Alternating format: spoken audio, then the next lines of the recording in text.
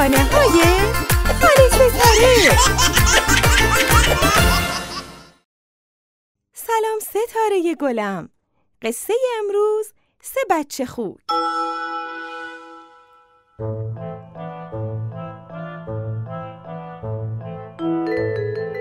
در گذشته های دور خوکی بود که سه پسر داشت. بچه خوک ها هر روز بزرگتر می شدن و وقتی پدرشون احساس کرد که اونها به اندازه کافی بزرگ شدن اونها رو جمع کرد دور خودش و گفت. پسرای عزیزم شما دیگه بزرگ شدید و باید بتونید به تنهایی زندگی کنید. وقتش رسیده که هر کدوم برید و برای خودتون یه خونه محکم درست کنید. وقتی دارم صحبت می‌کنم اینقدر خورخور نکنید. داشتم چی می‌گفتم؟ باید برید برای خودتون یه خونه محکم درست کنید و توش زندگی کنید این خونه دیگه واسه ما کوچیکه صبح روز بعد بچه خوک ها از پدر خداحافظی کردند و راهی شدند. غافل از اینکه یه گرگ بدجنس در کمینشون بود.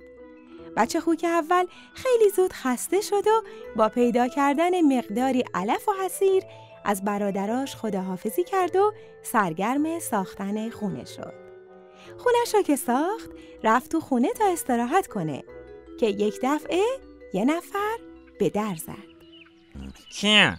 منم همسایه مهربونه همسایه مهربونم ولی تا جایی که یادمه وقتی داشتم خونم رو می ساختم خونه این دور برا ندیدم بهتر از لای علفا یه نگاهی بندازم وای وای یه گرگ یه گرگ پس چرا در رو باز نمی کنی بچه خوک توپل خوشمزه ای آقا گرگه اگه فکر کردی من در خونم رو باز می‌کنم تا یه لقمه چپت بشم سخت در اشتباهی ها خونه همچین میگه خونه انگار چیه خونه محکمی ساخته.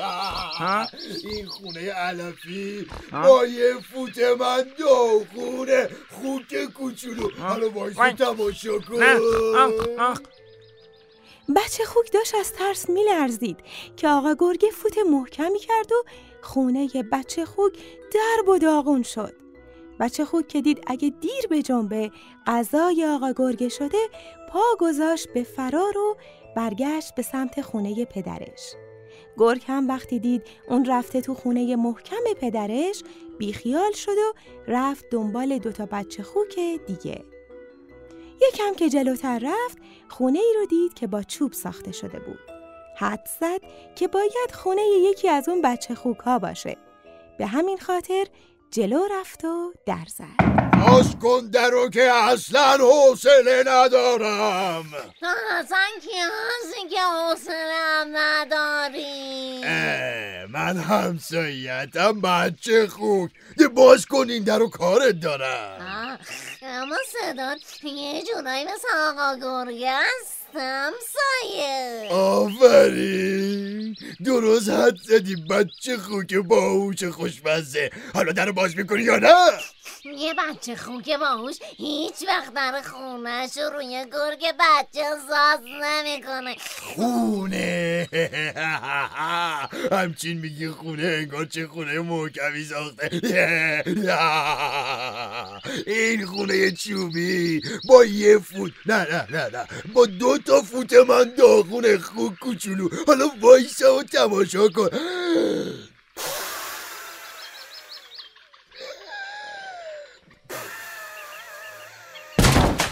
خونه چوبی هم با دو تا فوت آقا گرگه درب و داغون شد. بچه خوک دومم پا گذاشت به فرار و خودش رو رسوند به خونه پدر. آقا گرگه خسته و گرسنه رفت تا سومین بچه خوک رو پیدا کنه. بچه خوک سوم که خیلی زرنگ و عاقل بود داشت خونش رو با سنگ و آجر درست می‌کرد و برای همین ساختن خونش بیشتر طول کشید. اما اونم قبل از رسیدن آقا گرگه ساختن خونش رو تموم کرد. رفت تو و در و محکم بست. قفل در رو هم انداخت. هنوز چند دقیقه نگذشته بود که یکی در زد. کیه؟ منم همسایه مهربونتم آقا گرگی خودتو خسته نکن. من صدای تو رو خوب می‌شناسم. در خونم روی تو باز نمی کنم که برای خودم درد سر درست کنم. کلی زحمت کشیدم. این خونه رو ساختن که از دست حیوانایی مثل تو در امان باشم. خونه همچین میگه خونه انگار چه خونه محکمی ساخته. این خونه آجوری با یه فوت نه نه نه. با دو تا فوت من نه. این آه این با سه تا فوت من داغونه خوب کوچولو. حالا وایسا و خوب خوب تماشا کن.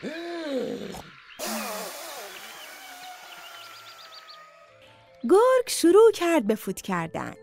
یه فوت دو فوت سه فوت. دید نه. خونه یه خوک کوچولو اصلا تکون نمی‌خوره. خوک کوچولو هم تو خونش با خیال راحت نشسته بود و به آقا گرگه میخندید. آقا گرگه هرچی بیشتر فوت می‌کرد عصبانی تر می‌شد. بالاخره هم اینقدر فوت کرد و فوت کرد تا دلش درد گرفت و مثل بادکنک باد شد و رفت هوا. اون شب وقتی پدر بچه خوک ها دید که سومین پسرش به خونش برنگشت رو کرد به دو پسر دیگش و گفت می‌دونستم که برادرتون خونه محکمی می‌سازه. چون اون هیچ وقت از کار سخت خسته نمیشه. باز من شروع کردم حرف زدن شما خور خور کردین. شما دوتا هم فردا صبح برید پیش برادرتون و ساختن خونه رو ازش یاد بگیرید تا از دست باد و بارون و حیوانای وحشی در امان بمونید. حالا خورخور کنید. چشم. پدر. بچه خوکا تصمیم گرفتن دست از تنبلی و بیحوصلگی بردارن و مثل برادرشون یه خونه محکم آجری بسازن تا اگه یه روز دوباره سر و کله آقا گرگ پیدا شد جونشون در امون باشه. خدا حافظ خاله ستاره دیگه چی داره؟ بالا رفتیم ستاره بود پایین خاله ستاره بود قصه رو شید و گفت و رفت. باز بر میگرده خیلی زود. باز بر میگرده خیلی زود.